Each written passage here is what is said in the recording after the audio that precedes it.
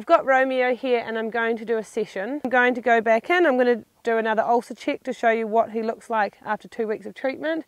And I'm also going to go through a little bit of a training session with you and show you uh, our pressure system from 1 to 10 and also starting to do a little bit of body control work because before I get on his back, I want to have that body control on the ground. So we're talking about moving the hindquarters, moving the, the forehand, and getting him able to, to isolate his front end and flex left and right with his neck. And probably do a little bit of rein back, but we'll see how we go. So what I'll do is I'll stand him side on here.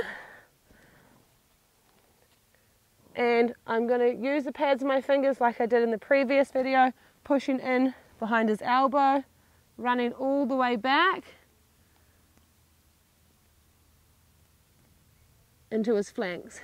Now the little tickles he did just there is very normal, it's, it's, quite a ticklish area, but you didn't get any of that abdominal tightening or the cow kicking.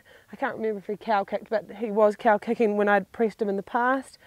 Um, so he's so much happier in his gut. So he will stay on that for the 28 day program. But yeah, feeling awesome and very relaxed in his body, feeling very soft and lovely, and his demeanor is really good. So we use a pressure system of 1 to 10 and basically what that is is 1 is the least amount of pressure possible, 10 is the most amount of pressure. And 1 is usually the lift of our energy, so it's at the raise in our intention. 2 is a cue, 3 is a little bit more pressure and then we work the way up the system. And we find that this creates really light responsive animals. We always start at 1, we slowly build up until we get a positive reaction from the horse. So if he presents with a pressure of 4, I will match him with a pressure of 4 until he gives me a positive reaction and then my energy will drop back down to 0. Now if he presented with a pressure of 4 and I came in with a pressure of 2, so let's say a pressure of 4 was he was kind of walking over me a little bit and my pressure of 2 was please don't do that and I kind of just don't really get a reaction from him, what happens is I start to dull him down and desensitize him and I encourage him to be very heavy and, and uh, to the aids. Now, if he's presenting with a pressure of four and trying to walk over top of me, and I come in with a pressure of eight and give him a massive big telling off, now he's going to be really sensitized and reactive, and I'm going to have a really uh, sharp, too sharp of an animal that's always worried about what I'm doing. So we always start with one, we go to two, to three, to four. And the moment we hit a, uh, that, that change in their body language where I can tell that they're thinking about what I'm asking and they're trying to figure out what I'm doing, I just stay at that pressure till they answer it. And then I go back down and give them a little bit of a break. So when we talk about body control, it's the isolation of different parts of their body and it, it carries on through to when I'm on their back. So what I'm firstly going to do is I'm going to flex his head left, then I'm going to go around the other side and flex his head right. And this, of course, is, comes in very handy when we're doing turns um, on their back and the beginnings of the turn on the forehand, turn on the hindquarters, etc. So I don't want to pull his head around. So you can mistake me for dra- mistake this sort of thing and drag him around, but he's only doing it because it's uncomfortable. I want to educate him and show him what I want. So all I do with a nice open hand, I put the rope here and, I, and then this hand here controls the length of it. So I can slide it in, slide it out. And I just quietly, good boy. Now I would say I had about a pressure two there. So I started to pick up the weight. I hadn't actually removed all the slack out of the uh, rope, but he came round really nice and light. Had he have ignored that, I would have quietly tightened my fist on the rope and just quietly brought the rope back and put more weight in my hands until my pressure 10 was quite a firm hold. So here I'm going to hold. Good. So there I got to about a pressure 2 or a 3 and he, I can feel his body language start changing. So I knew he was going to answer it. Good boy. And so then I just stay on that pressure until he softens around. And if he didn't answer after a few seconds, I might try one more pressure bar. So here, my one is there. So that was a one, except that he didn't finish it. So here, beautiful, good. So now that I've got him flexing left and right, I'm going to flex him down. And this is all the same foundational work that I do with my break-ins as well. And, it's, and so by doing it on the ground, one, it gives me a lot of control when I'm tying them up, going through gateways, etc. But two, it prepares him for the ridden work. So I'm going to ask him to soften his head down. Good boy. The moment he's done it, I reward. So my hand holds it like this, and then I just quietly hold the buckle. I put a little bit of weight in my hand, and he drops. So I would say he's dropping at about a pressure two. So pressure one would be that as I close my hand, he would already be coming down. So there I'm at a pressure four, pressure five, pressure, and I can feel him answering it there. So I'm going to stay, pressure five, beautiful. Good, reward him. We're going to go again. So I'm at pressure two, three. I can feel him answering it because he's starting to soften through his neck. I'm just going to hold there at that pressure until he, good boy, because he was just sitting out on the end of the rope. Now what I'm going to do is ask for the rein back. So I'm going to ask him to soften down. If he ignores me, good. That was about a pressure four. I'm going to ask for the rein back. Good job. So then I'm going to tighten my hold. Good. So there I got to about a pressure four. Lovely. That Those last two steps were at a pressure one. Good. I'm going to come here. He's just leaning on there, so I had to move up the pressure a little bit. But do you see how when he finally takes that step, or even before he takes a step, my hand opens as the reward. So what I wouldn't want to do is say back up, push him back, and then keep holding him here. And this is a very, sorry buddy, this is a very common thing I see. Um, so let's say I'm, I'm watching a rider ask their horse on the bit, they'll pull, the horse will drop their head and they'll keep pulling. And then, of course, the horse has no idea what it's done because there's been no re release or reward, and they become very heavy off the aids. So here, I'll show you how quick I release. I close my fist, I put the pressure, pressure, and then I've actually released there. So I released before he even moved his feet because I could feel or see his muscles starting to contract back as he was about to move. All right, now what I'm going to do is I'm going to do a turn on the forehand, so the hindquarters should pivot around the forehand. My cue for this is I hold my hand like this, this rope sits like so, I do not pull his head around, I just lift my hand like this. This is the cue for the turn on the hindquarters, or the cue I use. Then I'm just going to rub on him until I get behind his shoulder. I'm going to step out a little bit and I'm going to direct my energy at his hip like this. So he's done it, and normally I would reward and say good boy, but I just want to show you guys where I'm directing. So this hand comes up, this hand directs straight into his stifle hip flank area. Good, and then as he's moved the hindquarters, my energy comes back down to zero. So one would be one, two, three, beautiful. I got to a three. Now, if I get this correct and he starts to get the idea of it, over time he's going to start to react off these smaller numbers. So I'm going to say one, two. So we went off two. Good. Now I'm very happy with that. One is them would have to be extremely light and well trained.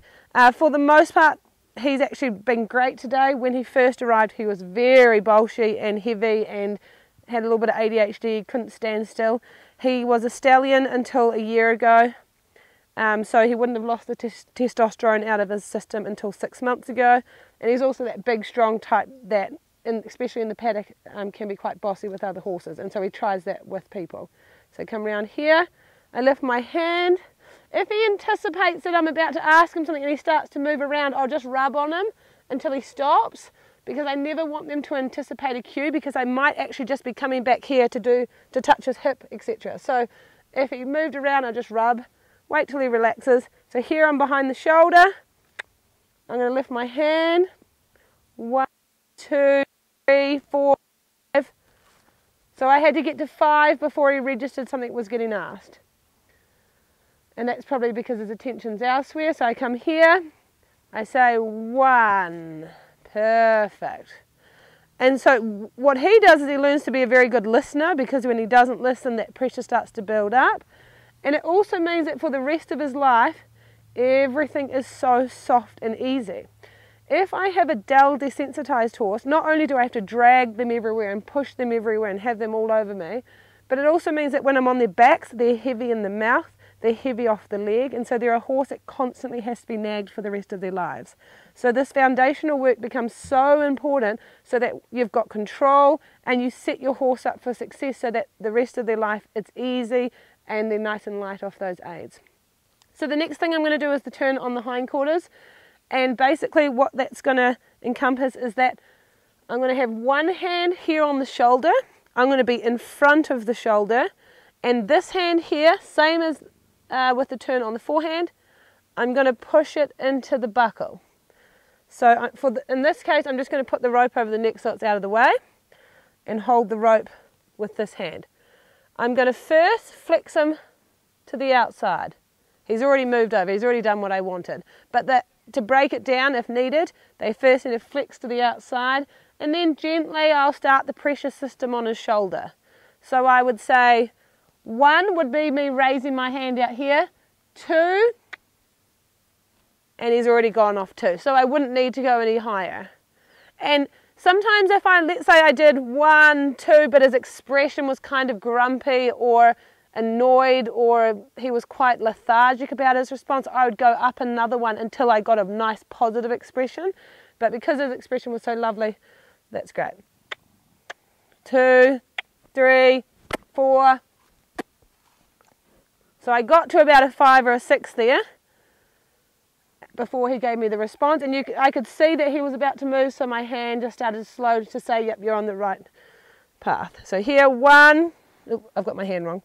One. I quite liked that. So even though it was really slow and it wasn't super sharp um, he was nice and light. So here. One so I got to about a two or a three I'm going to go one more time Perfect. So there he went off the one. So as I drew my energy back, he anticipated what I was about to do and he made the movement before I actually had to ask him. Cool. So this time here, hand here on the shoulder. He's already flexed that way, so he's already started it. I'm gonna, he's just gone to move. So there I went to go to pressure two and I felt him move. He didn't actually complete it, but I rewarded him for that because he started to anticipate. Two, three, four, five, six. He did it, but a little bit lackluster. So here, one, two, there. That was really nice. Uh, that was probably more of a three or a four. Good boy. So here, one.